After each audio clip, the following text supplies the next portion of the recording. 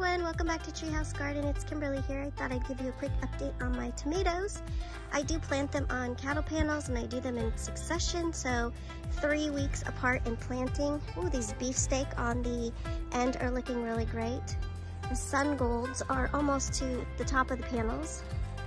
And then this is my last bit of planting. So you can see they're a little bit behind the others, which is great, which means that I'm gonna have tomatoes a little bit longer for the summer.